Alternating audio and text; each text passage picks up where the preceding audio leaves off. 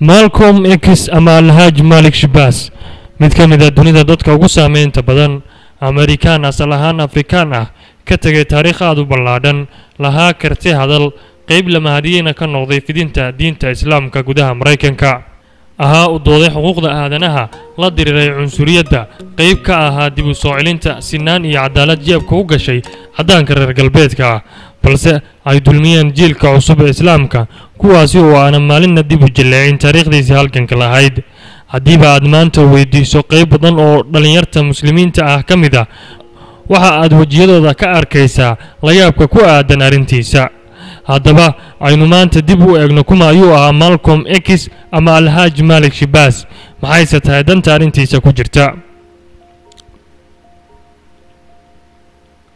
Malcolm little waxa uu ku dhashay omaha nebrask dalka maraykanka sannaddii kun sagaal boqol labaatan iyo shantii bishii may sagaal iyo tobankeedii.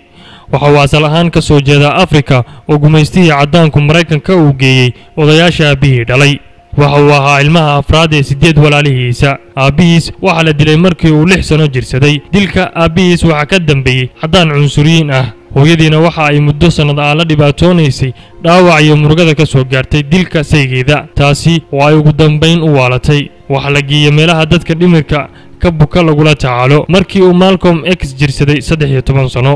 Dhiibta nolosha rafaadka iyo cadlada ayaa bilow u noqotay noloshiisa iyo walaalihiis. Waxa uu ku noolaa guryo agoonta lagu xanaaneeyo oo ay dowladdu gacanta ku hayso. Waayihiisa waxbarasho waxa ay ahayd bilow nolol dulqaad badan dhabar adeyg iyo kalsooni ku-qab nafeed u baahan. Inta uu waxbarashada ku jiray waxa uu ahaa arday xariif ah gaaray meel aanay gaari karin ardayda kale ee madowga ah balse waxa uu ahaa madowga keliya ee ku dhex jiray arday caddaan ah kuwaasi oo ku duri jiray uguna yeeri jiray ilmaha madow. Waxa uu ahaa mid ka fiican waxbarashada ilaa uu ka gaaray dugsi sare waxaana hadafkiisu uu ahaa in uu barto kuliyadda qaanuunka ama sharciga. Waxaa sariyadiisa soo afmeeray cunsuriyaddii baahday wakhtigiisa oo saamayn ku yeelatay hankiisa macallimiintiisa oo caddaan cunsuriyiin ahaa ayaa u baqay mustaqbalkiisa inuu noqdo madow aqoon leh.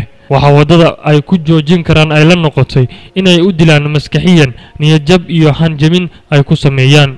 Maalmaha maalin ka mid ah ayuu macallin ka mid a barayaashiisa iskuulka u sheegay rabitaankiisa ku aadan inuu barto qaanuunka ama sharciga balse macallinkiisa ayaa ugu warceliyey inta ay fogaani jirto ayaad isu jirtaan adigaya in aad noqoto garsoore. Sababtoo ah waxa aad tahay madow waxaana uu hadalka barihiisa uu noqday mid soo gebagabeeya waayihiisa waxbarasho.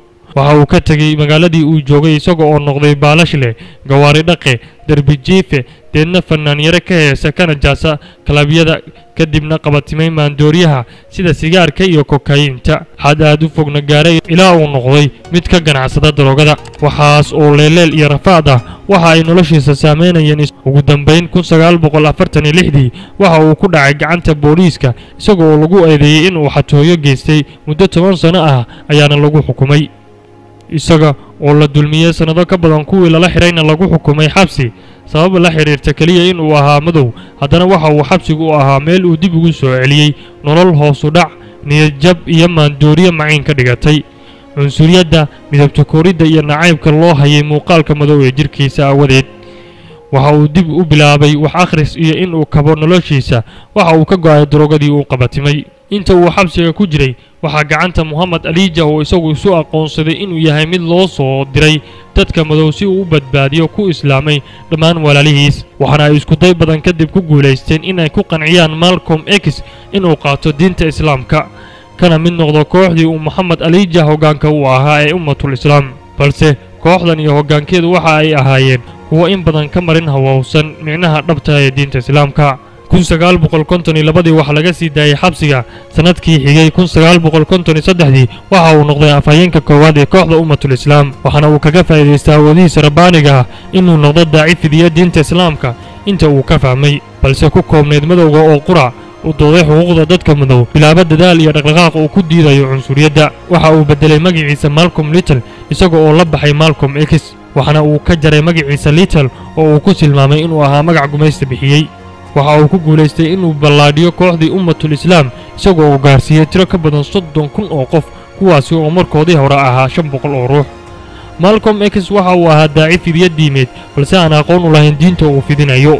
Waxaa jirta inuu aaminsanaa diinta islaamka in ay tahay diinta ninka madow oo keliya waxaase uu nasiib wanaag helay kansho fursad uu ku tegay dhul ballaadhan oo ka tirsan bariga dhexe iyo dunida islaamka. Waxa uu kun sagaal boqol lixdan iyo afartii tegay dhulka barakaysan ee maka iyo madiina halkan oo uu ku arkay wax ka duwan aragtidii uu ka aaminsanaa diinta waxa uu arkay ummad caddaan indhayar madow carab iyo koox walba leh oo gudanaysa waajibaadka xajka waxaa kala duwan muuqaaladooda balse le hal qalbi fahansanna hal aragti. Labiyo toban cisho ayuu fahankii uu ka qabay diinta islaamka dib ugu saxay. Waxa uu bartay sida salaada loo tukado waxaana uu akhrisay bugaag badan oo ka warramaysa diinta asaaskeeda muhiimka ah. Waxaana uu dib u iclaamiyey in uu islaamay mar kale inta uu joogay dhulka barakaysan waxa uu la kulmay madax culimo iyo dad kala duwan oo muslimiin ah waxa uu isla sanadkaasi dib ugu soo laabtay maraykanka isaga oo bilaabay in uu faafiyo diinta markanse waa sida saxda ah. Waxa uu isaga baxay kooxda ummatul islaam isqabqabsi iyo isfahandarro baahday kadib waxaana uu sameeyey kooxdiimeed cusub oo la yidhaahdo jamaacatu sunni lmuslimiin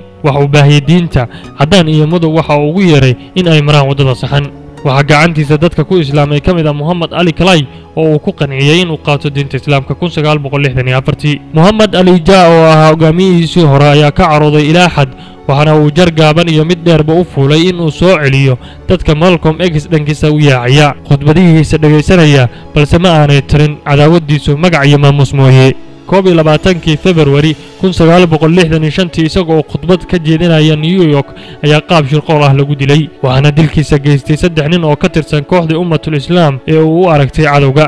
Alhaaj maalik shibaas ilmo yar oo agoon iyo rajay laga dhigay laga saaray waxbarashada laga yeelay mid ka dhaca nolosha habsi sannado badan lehna lagu xukumay. Loo colaaday keliya inuu yahay madow balse isagu kalsoonaaday naftiisa waxbaray tiisa deedna allah uu nasiib u siiyey inuu maro waddada saxan ee islaamka. Dadaal iyo karti uu muujiyey. Karay inuu ku badbaadiyo boqolaal madow iyo caddaan isugu jira. Aakhiro iyo adduunba la diriray isaga oo keligiisa cunsuriyad aad dareemi karto inta ay ka la eg tahay. Waxa uu alhaaj maalik shibaas u yahay mid inala mid ah. Waxaase uu yahay tusaale fiican oo ina wada tusinaya awooddeenna dhiirigeli sabscribe iyo share. Deedna ka hel janalkeena taariikho dad nolosha guula ka gaaray iyo warbixinno xiise leh. Mahadsan